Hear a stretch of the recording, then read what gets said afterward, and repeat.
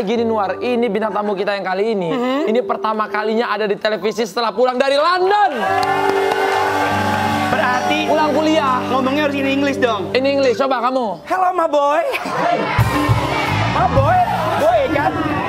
Are you okay? Kalau di sana biasanya panggil cowok atau panggil orang lain tuh mate. Make, Mate. Mitch, M A T. Mate. M A T E. Mete. Hello man, gitu. Mate. Make. Mate. Apa? Mate. Ih, ganteng banget sih ngomong gitu. mate, mate. Mate. Hello mate, how are you? I'm good, thank you. And you? I'm fine. I'm fan, I'm fan, I'm fine. You came back in Indonesia? Yes. Long time no see. Long time no see. Very good. Thank you very much. You look good as well. Really? Tahu dia ngomong apa. Tapi keren banget loh kuliah tiga tahun di sana. Alhamdulillah dapat beasiswa. Oh itu beasiswa, makanya ngambil ke luar negeri. Jurusannya apa? Uh, Global Business Management. Global Business Management. Sebenarnya itu bagus Nuar, karena anak muda tuh ada pilihan. Ada yang dia mau belajar dulu baru dia nyari uang, ada yang nyari uang dulu baru eh, belajar. Pendidikan. Nah, tapi kalau Rasya kenapa waktu itu memilih untuk kuliah dulu? Padahal kan waktu itu sempat ada Di entertain iya, di juga. entertain juga gitu. Emang sebenarnya sih kalau di entertain itu passion, lebih ke Passion. hobi juga. Acting, nyanyi, terus perform. Tapi emang ke depannya sih pengennya lebih fokusnya ke bisnis. Oh bisnis. Oh, jadi emang kamu passionnya di bisnis. Kalau Putri, kan kalau Rasya kan dapat beasiswa gitu ya ke luar negeri. Kalau Putri, sekarang apa SMA atau? Iya, aku masih SMA. Ada niatan nggak mau kuliah di luar negeri kayak Rasya? Dulu ada, cuman kayak sekarang udah nggak deh kayaknya. Kenapa? Karena udah Karena- seneng bisnis, eh seneng bisnis, seneng entertain. Iya, terus terutama itu.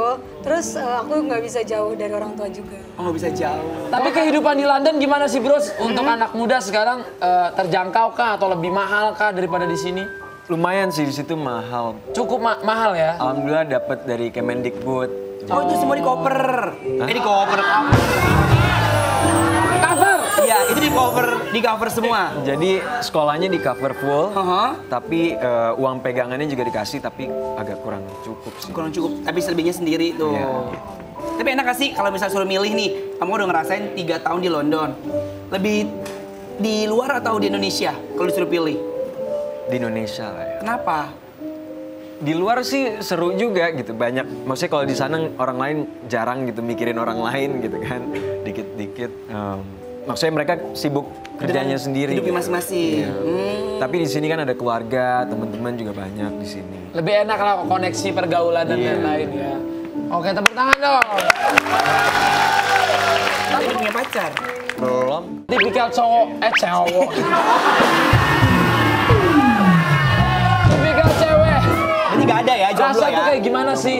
Mungkin banyak kan orang-orang eh, masyarakat Yang Indonesia kepo. yang mm, Yang pasti Kepo. baik kan? Baik. Baik. Nggak sombong. Gak sombong. Nggak so jual mahal. Nggak so jual jual mahal. mahal. kan? Terus komunikasinya itu penting sih. Kalau Putri, Putri. Tipe Kalau baik, relatif lah ya. Terus sama nggak sombong. Iya aku suka sama aku baik banget. Terus apa lagi Put? Terus sederhana Lu banget. dan lebih tinggi dari Putri. Oh bisa. Oh gue pendek gue nggak nyampe. ganteng. Kalau ngelihat yang ganteng sama yang cantik ini baunya jadi aus panas. Kayaknya Anwar tuh butuh yang seger-seger deh. Gimana kalau kita goyang tarik Malaka?